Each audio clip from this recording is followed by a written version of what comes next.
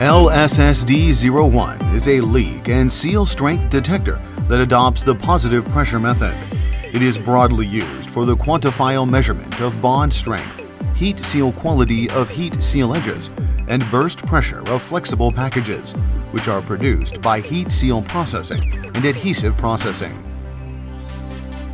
The instrument supports four pressure sensors of different test ranges and the maximum test pressure reaches up to 1.6 megapa. This instrument can perform burst, creep, and creep to burst tests of complete packages. Under the creep testing mode, it can determine the test result automatically to bring superior test accuracy.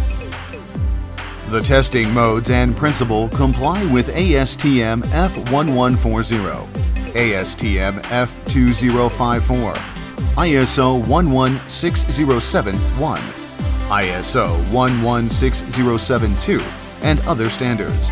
With optional testing fixtures, this instrument can also accomplish tests of various types of packages and materials.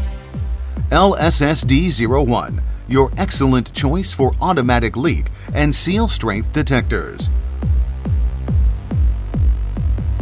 LabThink.